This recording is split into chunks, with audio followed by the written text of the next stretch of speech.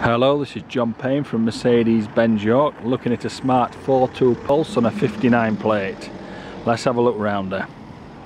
Front wing, that's in order, just a chip to touch in and um, some machine polishing to do. This tyre's okay, this has got 3 mil on and the alloy just needs a good clean.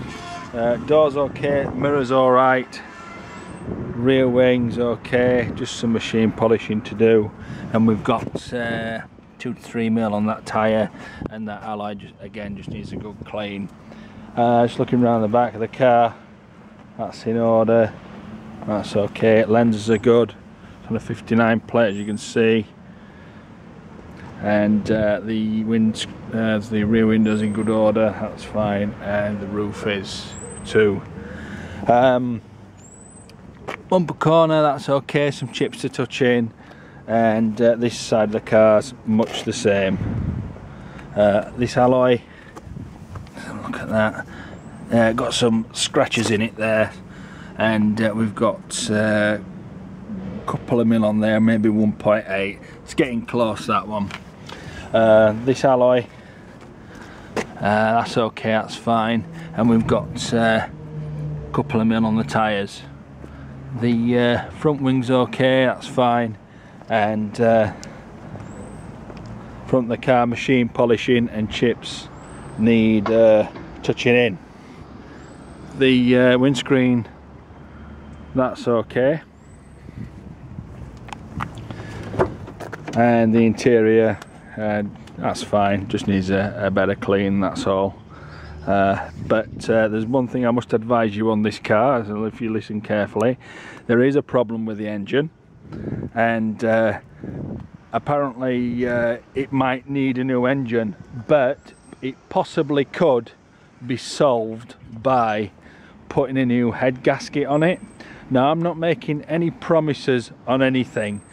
All I will say is a, there is a problem with the engine and it could be solved cheaply or expensively. So as long as you understand that. Okay?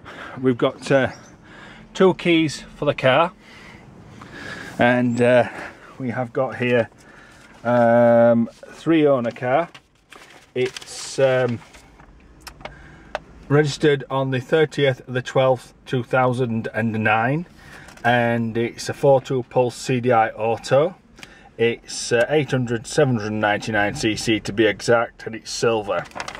The MOT in this vehicle expires uh, December the 30th 2014 the vehicle has two keys. It does start up. Okay, but it's uh, been overheating.